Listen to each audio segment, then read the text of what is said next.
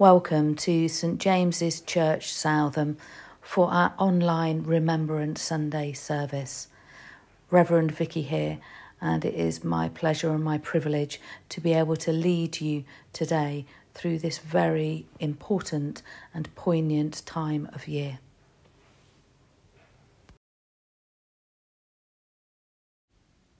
Let us begin with some words from Scripture. God is our refuge and strength, a very present help in trouble.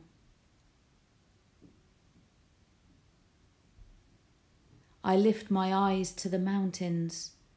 Where does my help come from? My help comes from the Lord, the Maker of heaven and earth. Hope returns when I remember this one thing. The Lord's unfailing love and mercy still continue, fresh as the morning, as sure as the sunrise. The Lord is all I have, and so I put my hope in Him. What does the Lord require of you but to act justly and to love kindness? And to walk humbly with your God. Jesus said, Peace I leave with you, my peace I give to you. I do not give to you as the world gives. Do not let your hearts be troubled, and do not let them be afraid. Today we remember in the presence of God. We remember our own failings, but we trust in God to help us. We shall commit ourselves to work for reconciliation between the nations of the world, so that all people may together live in freedom, justice, and peace. We shall also remember with thanksgiving and sorrow those whose lives in world wars and conflicts past and present have been given and taken away. We shall pray for all who in bereavement, disability, and pain continue to suffer the consequences of fighting and terror.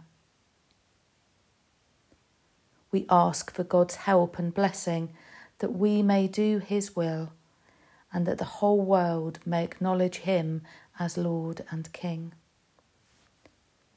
May we begin with a prayer.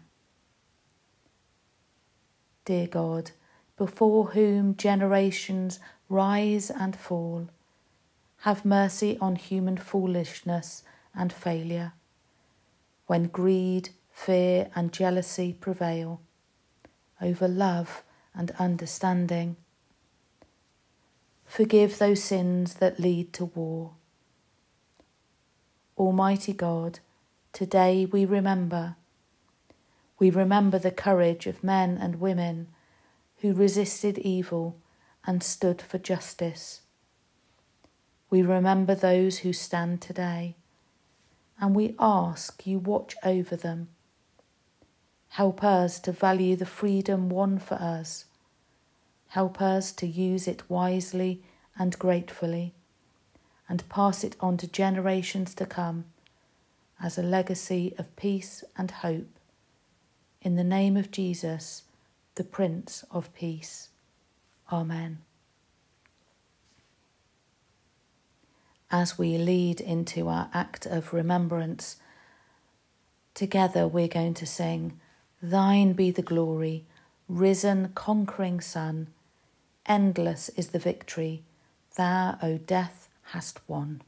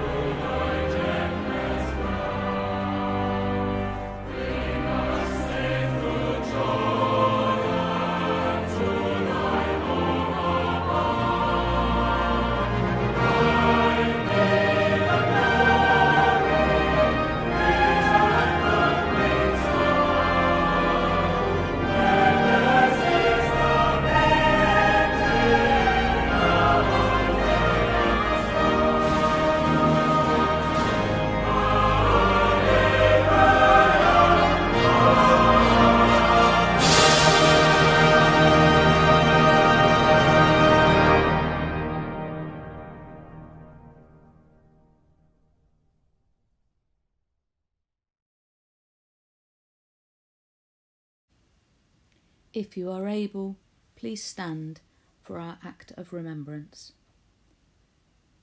Let us remember before God and commend to his sure keeping those who have died for their country in war, those whom we knew and whose memory we treasure, and all who have lived and died in the service of humankind.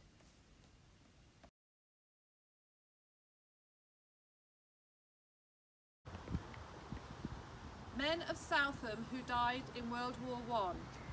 Harry Askew, William Abbott, Arthur Adams, George Adams, William Amos, Arthur Baldwin, Charles Baldwin, Frederick Baldwin, Harry Baldwin, Harry Bicknell, Frank Blellock, William Blellock, William Boot, William Brain, George Bull, John Bull, Vic Burnell, William Burnell, John Calcutt. Joseph Carter, Leonard Carter, Alfred Chambers, John Checkley, William Collier, Frederick Constable, Frederick Court, Ernest Davenport, William Davidson, Alfred Davenport, Arthur Davenport, Arthur Duckett, John Duckett, Albert Fennell, Joseph Fennell, Harry Flowers, Percy Flowers, William Garrett, David Gilmore, Henry Glenn. William Gold, Ralph Griffin, William Hancock, Fran Frank Hancock, Alan Harrison, David Hart, Frederick Hartley, Edward Hinks, Henry Hodges, Ernest Hollis, Sidney Hughes, John King, Alexander Latte, Bernard Lee, Thomas Masters, Henry Morby, Albert Morgan, Ernest Owen, Horace Parkinson, Hubert Pearson. William Pitton, Alfred Pratt, Arthur Pratt, Herbert Randall, Arthur Rathbone, Thomas Rockingham, William Seckington, Edward Shearsby, George Shorthouse, William Smith, Arthur Turner, Edward Turner, Edwin Wellings, Thomas Woggle. Men from Southam who died in World War II. George Askew, Ronald Askew, Herbert Cooper, Cyril Duckett, Edward Goodhead, Jack Goodhead, Peter Shergold, Charles Graves, Horace Haynes, Tom Porteous, William Saunders, Wilfred Usher, Arthur Williams, and those who've died in recent conflicts, J.J. Doherty.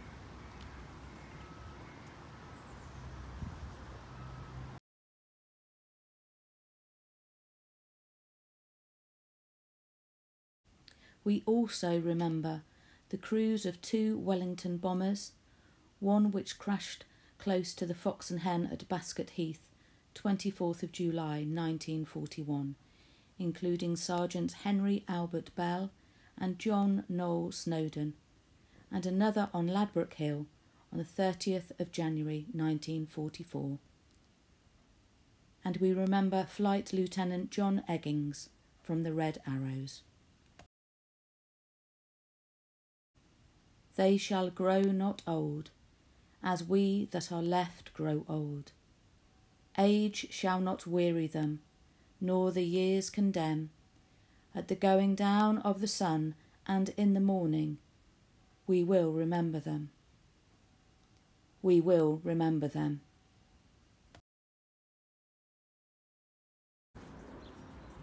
Bye.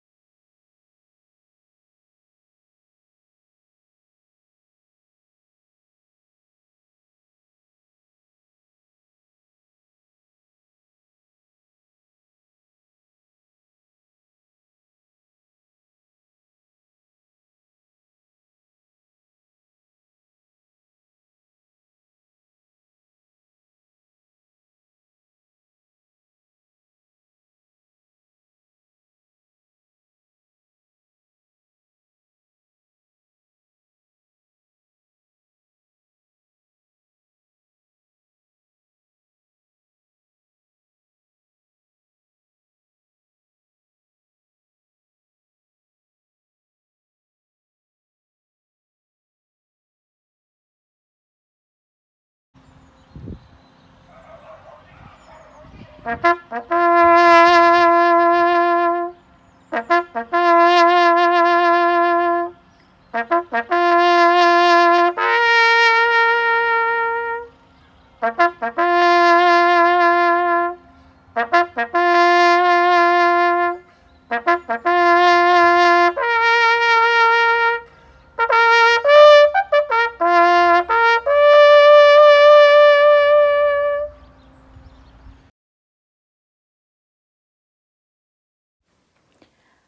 Reading today is taken from Philippians chapter 2, verses 1 to 11.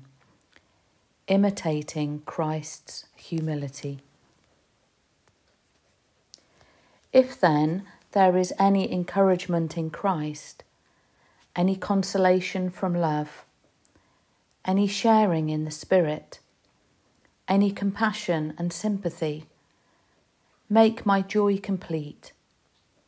Be of the same mind, having the same love, being in full accord and of one mind.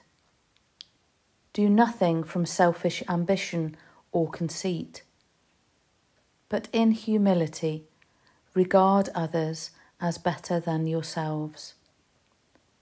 Let each of you look not to your own interests but to the interests of others. Let the same mind be in you that was in Christ Jesus, who, though he was in the form of God, did not regard equality with God as something to be exploited, but emptied himself, taking the form of a slave, being born of human likeness and being found in human form. He humbled himself and became obedient to the point of death, even death on a cross. Therefore, God also highly exalted him and gave him the name that is above every name, so that at the name of Jesus every knee should bend, in heaven and on earth and under the earth, and every tongue should confess that Jesus Christ is Lord, to the glory of God the Father. This is the word of the Lord. Thanks be to God.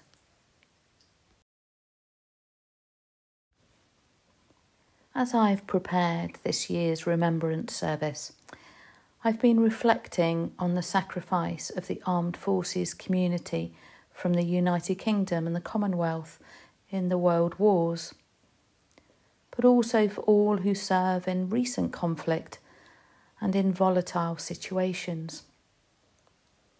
I've also reflected on those who, as our Bible passage says, do nothing from selfish ambition or conceit, but in humility regard others as better than themselves. reflecting on those who have a heart for others and serve others in all sorts of ways. In the recent Southam Advertiser article, I wrote about being reminded of Jesus serving his disciples by washing their feet and his ultimate sacrifice of serving by giving his life upon the cross. In another part of the Bible, it says, Whoever desires to become great among you shall be your servant, and whoever desires to be first in the group must be the slave of all. Humbly and lovingly serving one another is a sign of greatness in the eyes of God. It's not about serving another for any type of recognition or about serving another grudgingly. Jesus emphasizes that our service to others should come solely out of love for others and to serve others with humility.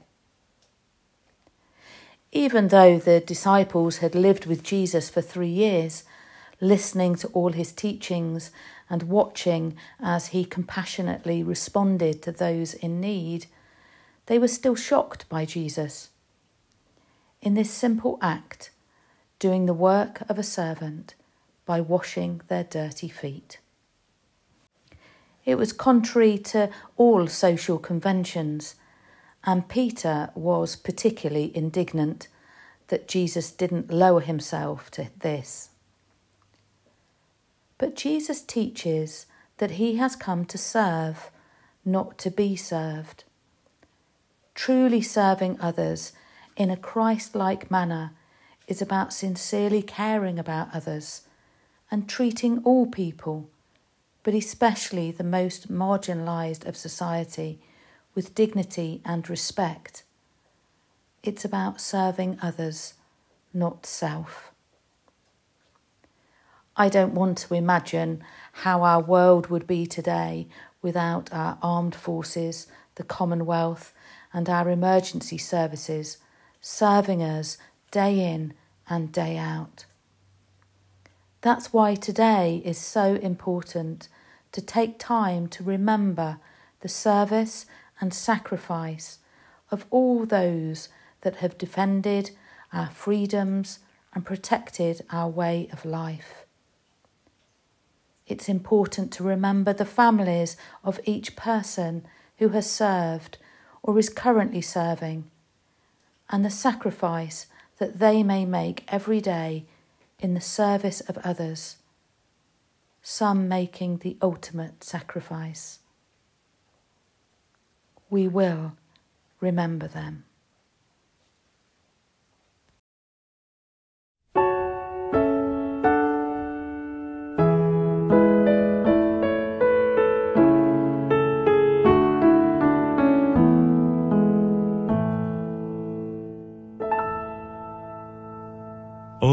God, our help in ages past, our hope for years to come, our shelter from the stormy blast, and our eternal home under the shadow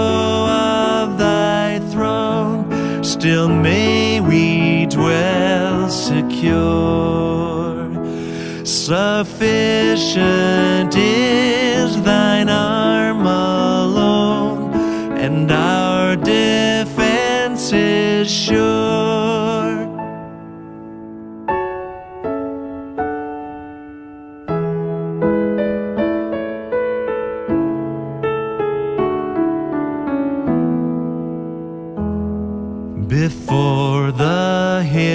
in order stood, or earth received her frame.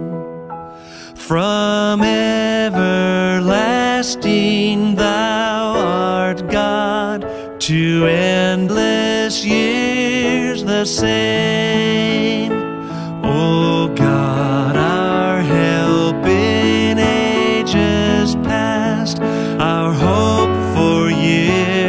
to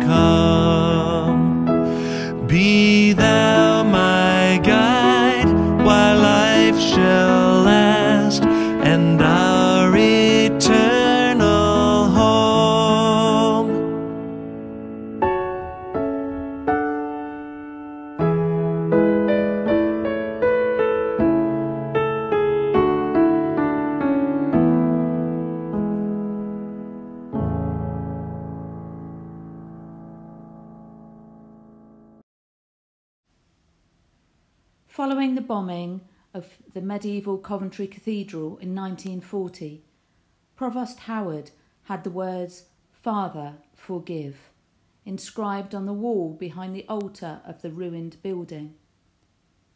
These words are used as the response in the Coventry Litany of Reconciliation, which is prayed throughout the world by the community of the Cross of Nails. So please respond with Father, forgive. All have sinned and fallen short of the glory of God. The hatred which divides nation from nation, race from race, class from class. Father, forgive.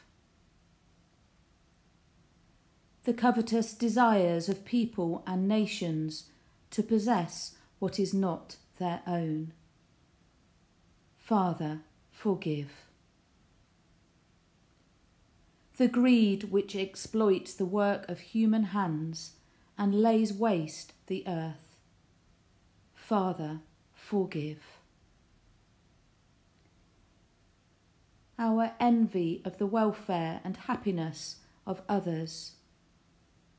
Father, forgive. Our indifference to the plight of the imprisoned, the homeless, the refugee. Father, forgive. The lust which dishonours the bodies of men, women, and children. Father, forgive. The pride which leads us to trust in ourselves and not in God.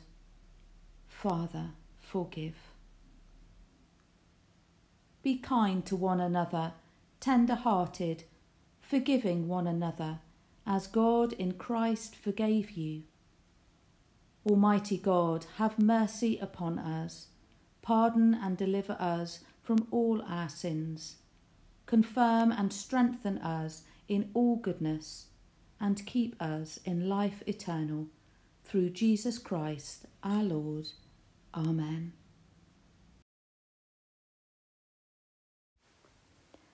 Let us pray. God, our heavenly King, you made each one of us to be like you and blessed us with the rich and fruitful earth. You gave humanity responsibility for the good ordering and well being of the world. Inspire us to serve you and one another for a world of peace and justice where all may experience the power of your love. A prayer for those afflicted by war. Lord Jesus, you knew the loneliness of fear. May you hold in your hand those who fear for their lives, those who live in places of violence and conflict. Help us to bring comfort to the oppressed and compassion to those who suffer, so that they may hear the song of love which triumphs over evil.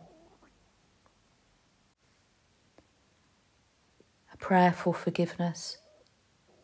Lord God, we come to you in sorrow and sadness. Forgive us for the part we play in a world which is greedy for land, resources, and possessions. Forgive us when we fail to reach out with friendship and acceptance. Forgive us when we long for status and fail to put the needs of others first. Forgive our support of might instead of right, aggression instead of reconciliation. Forgive us when we take the easy way out instead of valiantly standing for truth and justice. And a prayer for peace. White feathers were given to those who did not volunteer. They were an accusation of cowardice. Lord, we acknowledge this harsh treatment. But white feathers remind us too, Lord, of doves, a symbol of the Holy Spirit. Holy Spirit, you hovered over the world as order came from chaos. May you bring order to the chaos of this world. Holy Spirit, giver of life and love, help us to build your church and your world with the gifts of gentleness, self control, love, joy, and peace. In Jesus' name we pray. Amen.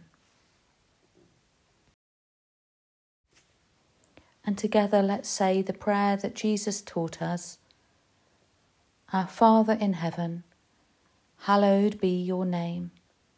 Your kingdom come, your will be done, on earth as in heaven. Give us today our daily bread.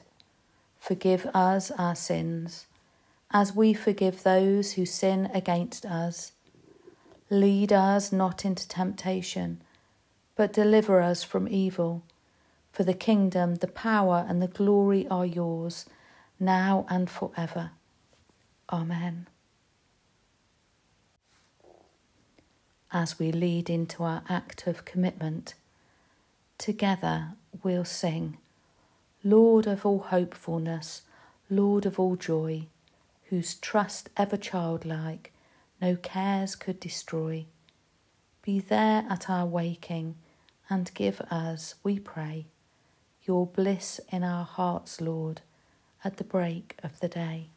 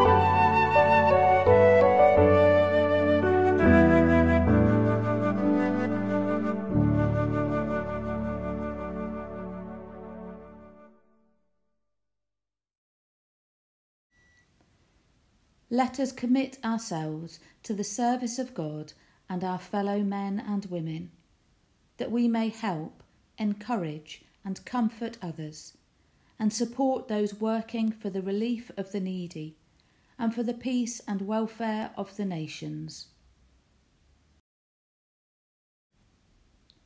Lord God, our Father, we commit ourselves to serve you and all humankind, in the cause of peace, for the relief of want and suffering, and for the praise of your name.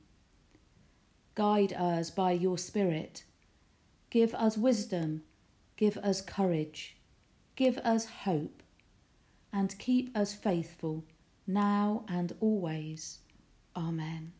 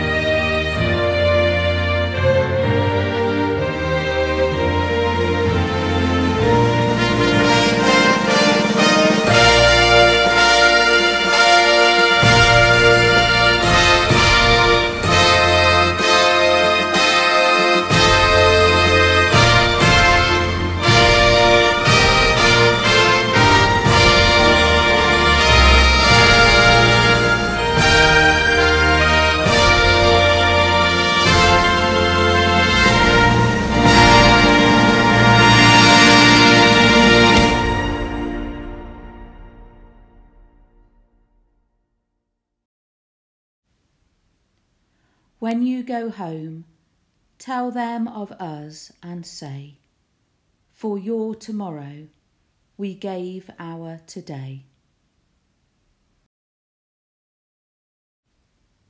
May God grant to the living grace, to the departed rest, to the Church, the King, the Commonwealth, and all people unity, peace, and concord and to us and all God's servants, life everlasting. And the blessing of God Almighty, Father, Son, and Holy Spirit be with you all and remain with you always. Amen.